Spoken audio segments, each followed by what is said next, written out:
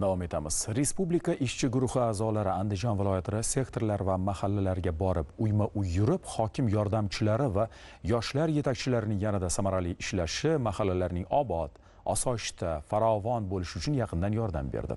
Amalga oshirilgan ishlar yangi loyihalar rejalar tahlil qilindi. Ular bilan birga hududlarni rivojlantirish nisbatan sharoiti og'ir mahallalar qiyofasi va ijtimoiy muhitini yaxshilash uchun bor imkoniyatlar ham safarbar qilindi. Davlatimiz rahbari topshirig'i asosida tuzilgan respublika ishchi guruhining andijon viloyatidagi uch kunlik faoliyati ham bugungi kun haqiqatini yana bir bor isbotlab berdi. Odamlarni o'ylantirayotgan har bir inson har bir oila hayotiga daxldor aksariyat muammolar quyi tizimda va bu masalalarni mahallaning o'zida hal qilish uchun imkoniyat ham kuch ham salohiyat ham bor. Buning uchun esa mahallabay ishlashning yangi tizimini samarali amalga oshirishdagi o'zaro hamkorlik mexanizmlarini mustahkamlash zarur. Uch kun davomida 11420 dan ziyod xonadon va 387 ta obyekt o'rganilib aniqlangan 631 ta masaladan 592 tasiga yechim topildi. Viloyatning 16 ta tuman shahridagi ijtimoiy iqtisodiy ahvoli nisbatan og'ir bo'lgan mahallalarda tashkil qilingan sayyor qabullarda esa kelib tushgan 573 ta masalaning 245 tasi joyida hal qilindi. Mazkur qabullar andijonlik hokim yordamchilari va yoshlar yetakchilari uchun nihoyatda katta amaliyot maktabi bo'ldi. Yangi tizim vakillari murojaatlar bilan ishlash muammolarni aniqlash va hal qilishda ayni shu muloqot maydonlarida chiniqib toblanmoqda sababi aksariyat murojaatni mas'ullar aynan hokim yordamchilari va yoshlar yetakchilari bilan birga o'rgandi birga hal qildi. Bir misol favqulodda vaziyatlar vazirligi sektorlar mas'ullari andijon tumani ming'o'rik mahallasi aholisining hududlardagi ichki yo'llar ta'miri masalasidagi murojaatini joyiga chiqib o'rgangach muammo yechimi hokim yordamchisi yoshlar yetakchisi va aholi bilan kengashildi. Murojaatlar ko'rsatdiki mahallaning sarbon farovon farobiy kanal bo'yi eshonchbek ko'chalari chindan ham tuproq yo'l qishda botqoq bo'lib ketadi. Murojaatdan so'ng besh tuproq ko'chani tosh yo'lga aylantirish uchun o'nlab katta mashinalarda tosh shag'al olib kelinib tuproq yo'llarga to'shaldi. Barcha tizim mas'ullarining mahallaga yordamga kelib mahalla ichida ishlayotgani muammolar xonadonma xonadon o'rganilib hal qilinayotgani esa quyi tizim vakillarining ham og'irini yengil qilmoqda. Viloyatda tuproq ko'chalarini avval tosh shag'alli keyin esa betonli yo'lga aylantirish bo'yicha o'ziga xos andijon tajribasi amalga oshirilmoqda. Bu loyihaning afzalligi sement ishlab chiqarishdan to beton quyishgacha bo'lgan jarayon klaster tizimida bir qo'ldan chiqishi beton yo'lning asfaltdan arzonga tushishi mustahkamligi va qulayligi bilan bog'liq. Beton yo'l 20-25 yil xizmat qiladi klaster egasi esa unga 10 yil kafolat berib shu davrda tabiiy buzilish bilan bog'liq yuz beradigan har qanday muammoni bepul ta'mirlab berishni bo'yniga olmoqda. Bu bir marta beton yo'l qilinsa 10 yil uning egasi kafolati bo'ladi degani joriy yilda tajriba tariqasida viloyatdagi 28 ta mahalladagi 50 kilometrdan ortiq ichki yo'llar beton qoplamali yo'llarga aylantirilmoqda. Hozirga qadar 10 ta tuman shahardagi 20 ta mahallada 20 kilometr shunday yo'l barpo qilindi. Aytaylik andijon tumani sadatdagi mahallasida ham bu yil 14 kilometr tuproq ko'chalar mana shunday beton qoplamali yo'lga aylantirilmoqda. Hozirda ikkita ko'chada ishlar yakuniga yetkazildi. Tekis ravon ko'chalar chetlarida piyodalar yo'laklari barpo etilib ko'chatlar ekildi. Bu esa yoshu keksani quvontirmoqda. Ayniqsa kechagina tuproq changitib o'ynagan bolalar bugun o'z darvozasi oldidagi ravon yo'lda mazza qilib velosipedu samokatda uchmoqda. Saddatagi mahallasida ichimlik suv va elektr ta'minotida ham muammolar bor edi. Joriy yil avvalida bu boradagi muammolar tahlil qilingach ikkita transformator 200 ta beton tayanch o'rnatish 6 kilometr elektr tarmog'i tortish ishlari boshlandi. Saddatagida 2 kilometr suv tarmog'i tortilib har bir xonadonga ob hayot olib kirilmoqda. Bo'ston tumani dehqonobod mahallasida o'tgan sayyor qabulda hududdagi o'nlab xonadonning katta muammosi hal qilindi. Gap shundaki mazkur hovlilarda eski simyog'ochlar qolib ketgan. Bu esa ham tomorqadan foydalanishda xalal berayotgan ham aholi hayotiga xavf solayotgan edi. Murojaatdan so'ng ko'cha bo'ylab bir tekis beton ustunlar o'tkazilishga erishildi. Hademay ularga yangi tarmoq tortiladi va hovlilar ichida qolib ketgan simyog'ochlar olib tashlanadi. Umuman viloyatdagi muloqotlar mahallama mahalla uyma uy o'rganishlar natijasida ijtimoiy iqtisodiy ahvoli nisbatan og'ir mahallalardagi 2,3 kilometr yo'lga tosh shag'al to'shaldi. 300 dan ziyod beton tayanchlar o'rnatilib 13,3 kilometr elektr 1,2 kilometr suv tarmoqlari tortildi. Aholiga qariyb 40 ming dona suyultirilgan gaz balloni yetkazildi. Asaka tumanida esa mahallalarga 100 mingta ko'chat tarqatildi. Amir temur mahallasidagi beton yo'llar chetiga sersoya pavlonia nihollari qadalgan bo'lsa bolalar maydonchalariga archa ko'chatlari ekildi. Oilalar daromadlarini oshirish xalq roziligini ta'minlash osuda obod va farovon turmushning mustahkam poydevoridir.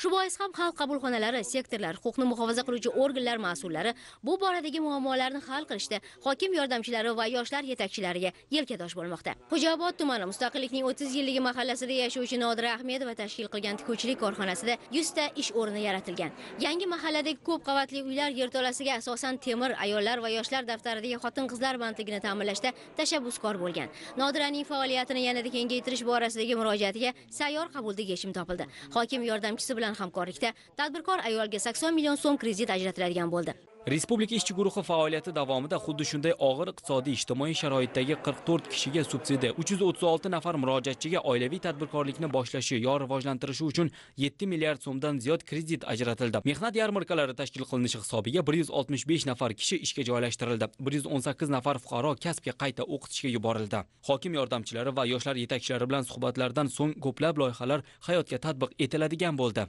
Bosh prokuratura mas'ullarining marhamat tumani mirishkor mahallasidagi o'rganishlardan so'ng 10 nafar ishsiz yoshga tadbirkorlikni boshlashi uchun kredit asosida penoblok ishlab chiqarish uskunalari topshirildi.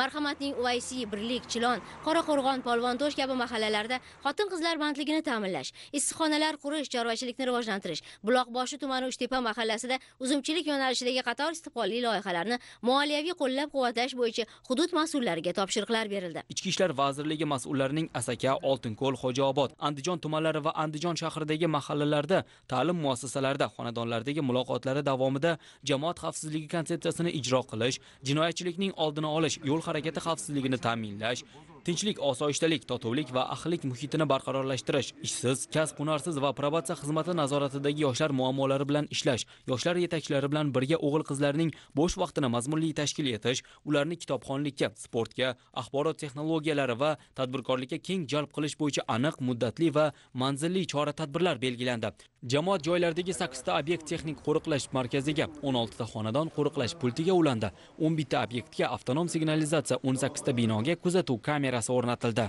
Ichki ishlar vazirligi akademiyasi va jamoat xavfsizligi universiteti professor o'qituvchilarining bu borada andijon tumanidagi sultonobod mahallasidagi o'rganishlari asosida fuqarobay ishlash metodikasi o'quv amaliy qo'llanma andijon shahrining mustaqillik o'zbegim mahallalaridagi faoliyati asosida jamoat xavfsizligini ta'minlashning yangi tizimi ishlab chiqildi. Bu borada ayniqsa davlatimiz rahbarining joriy yil 11 fevral kungi videoselektor yig'ilishida yo'llarda inson xavfsizligini ta'minlash bo'yicha belgilab bergan vazifalar ijrosini ta'minlashga alohida e'tibor qaratildi. Yo'l transport hodisalari ko'p sodir bo'layotgan hudud hududlar haydovchilikka o'qitish va guvohnoma berish bo'yicha yangi tizim ijrosi tahlil qilinib viloyatdagi soha mutaxassislari uchun seminar treninglar tashkil etildi. Yaqinda viloyatda yo'l harakatini boshqarish va xavfsizligini ta'minlash bo'yicha hududiy konsepsiya ishlab chiqildi. Unga ko'ra viloyatda jami 5873 dona yangi yo'l belgilari o'rnatish rejalashtirilgan bo'lib buning uchun andijon shahrida zamonaviy yo'l belgilari ishlab chiqarishga ixtisoslashgan xususiy korxona faoliyati yo'lga qo'yildi. O'rganishlar davomida shu kabi korxonalar faoliyatini rivojlantirish viloyat va tuman markazlarida yo'l belgilari svetofor va yoritgichlar o'rnatish chiziqlar chizish piyodalar yo'lagini belgilash umuman yo'llarni tartibga solish borasida qo'shimcha vazifalar belgilandi. Uch kun ichida viloyat bo'yicha 27 ta yo'l belgisi svetoforga quyosh panelida ishlovchi qurilmalar o'rnatildi. Bu jarayonda ta'lim muassasalari oldida 30 kilometr shahar markazlari va piyodalar serqatnov yo'nalishlarida 60 kilometr tezlikni belgilash choralari ko'rilmoqda. Og'ir oqibatli yo'l transport hodisalarining oldini olish maqsadida andijon asaka baliqchi izboskan qo'rg'ontepa marhamat oltinko'l xo'jaobod va shahrixon tumanlaridagi 41.2 kilometr yo'llarga qatnov qismini ikkiga ajratuvchi beton to'siqlar qo'yilmoqda. Andijon shahridagi tirbandliklar avtomobilni tartib tartibsiz boshqarish va jamoat transportlariga xalaqit qilish holatlarining oldini olish maqsadida avtobuslarga yo'llarda harakatlanish madaniyatini nazorat qiluvchi maxsus video registratorlar o'rnatilmoqda. O'quvchilarning yo'l harakati xavfsizligi bo'yicha bilimlarini oshirish borasida bo'ston tumanidagi 61 ixtisoslashtirilgan maktab ko'p jihatdan ibrat bo'ladi. Yaqinda bu yerda yo'l harakati xavfsizligi maxsus sinfxonasi tashkil etilib tuman yo'l harakati xavfsizligi bo'limi rahbari haftada 2 marta o'quvchilar bilan amaliy mashg'ulotlar olib bormoqda. Asaka tumanidagi 16 sonli ko'zi ojiz bolalar uchun ixtisoslashtirilgan maktab internatida esa viloyat 3 sektorining qalban yaqimiz to'garagi tashkil etilgan. Bu bilan imkoniyati cheklangan o'quvchilarning turli yo'nalishlardagi iste'dodlari yuzaga chiqarilib jamiyatda o'z o'rnini topishiga yaqindan ko'maklashilmoqda. Yaqinda o'qituvchilar va o'quvchilar murojaatlari asosida maktab yonidagi ko'chada ular uchun ovozli svetofor qo'yib berildi. Ichki ishlar vazirligi mas'ullarining maktab faoliyati qalb ko'zlari ravshan yigit qizlar bilan suhbatlari asnosida 175 nafar imkoniyati cheklangan bolalarga maktab kiyimlari sport formalari tinglab o'qish uchun maxsus pedagogik vositalar musiqa anjomlari va boshqa sovg'alar topshirildi. Dasturxon yozilib konsert va xayriya tadbiri tashkil etildi. Shahrixon tumanidagi ekoparkda tashkil qilingan xalq sayli xo'jaobod tumanida uch avlod uchrashuvi va millatlararo do'stlik festivali esa turli millatlarga mansub insonlarni bir davrada jam qildi. Darhaqiqat o'zbekiston ulkan resurslarga ega mamlakat. Lekin mamlakatimizning eng katta boyligi millatlararo tinchlik va barqarorlik o'zaro hurmat va hamjihatlik muhitidir. Insoniyat o'zidan albatta mehr qoldirish kerak. Insoniyat odamlarni qadrlay bilish kerak. Oqsoqollarni fikrini ko'rish bu men o'tirgan davradagi e, o'zim singari veteranlarni fikrlarini ifodalab shu gapni aytyapman. Prezidentimizga ming rahmat. O'rganishlar yakunida inson qadri uchun g'oyasini amalga oshirish, islohotlar natijalari har bir oilada, har bir inson hayotida sezilishi uchun xalq qabulxonalari, sektorlar, huquqni muhofaza qiluvchi organlar, hokim yordamchilari va yoshlar yetakchilarining o'zaro hamkorlik mexanizmlarini mustahkamlash bo'yicha vazifalar belgilab olindi. Viloyatdagi ijtimoiy-iqtisodiy ahvoli nisbatan og'ir bo'lgan 72 ta mahallani har tomonlama rivojlantirish, aholi turmush darajasini oshirish va ijtimoiy muhitni yanada yaxshilash bo'yicha har bir mahallaning yo'l xaritasi ishlab chiqildi.